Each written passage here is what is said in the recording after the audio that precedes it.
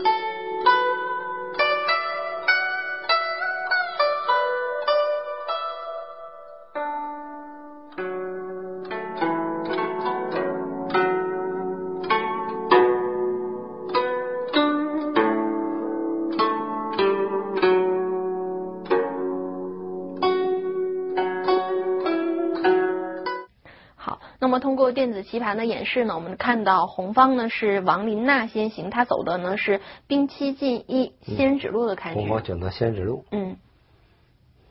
那么黑方下炮八平四。嗯，黑方走的是属于呃过宫炮，应该说我们经常也讲一些先指的一些变化。嗯。呃，红方先指路以后，作为黑方呢，应付的方法有很多，常见的足底炮。是一个比较常见的一个大规模的选择一个变化，当然包括应付先指路也可以选择对挺七足，包括这个呃马八进七，对啊以及说是炮呃炮八平四也可以，当然也有选择者炮。呃，炮二平六等等一些手段吧。说这样说是作为后手一方呢，呃，走的是比较少见的一个炮八平四一个反攻炮的一个呃特点。它的特点也就是说，根据对方挺起骑兵以后呢，将来肯定要形成个马二进一边马，再通过你这个将来马八进以后，这个炮二平三抢先抢过这个三卒以后，快速出动自己右翼的车，或者将来这个马八进七车九平八，也是个快速出子的一个方法。嗯，那么红方接走马二进三，红方正马马二进三，对，黑方跳马八进七，马八进七，嗯，红方车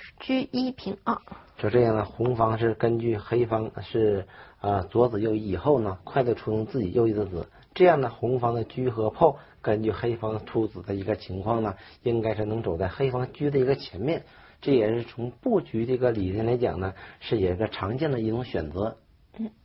黑方走车九平八，黑方车九平八，红方下炮二进四，红方呢再根据炮炮二进四以后，一是压缩车的空间，再根据以后的形势，适可的如果能形成这兵三进一，那么红方这个所形成阵型呢，应该说它肯定要好于黑方。说这个进炮封车以后呢，正常的情况作为黑方呢，多数挺起这个切入个卒活马路，防止将来再有其他的做配合，包括。炮八平五，或者是呃炮八进四，或者是马八进七，马七进六，这中路形成对黑方的一种攻势。嗯，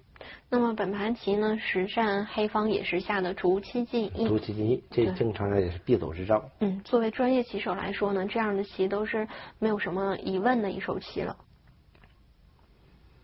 红方跳马八进七。嗯，红方也是，既然选择了这兵七进，最后还是要通过上正马。